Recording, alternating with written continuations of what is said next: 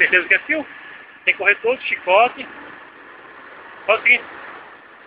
Amanhã a gente consegue dar uma fugidinha, também é o último dia. Né?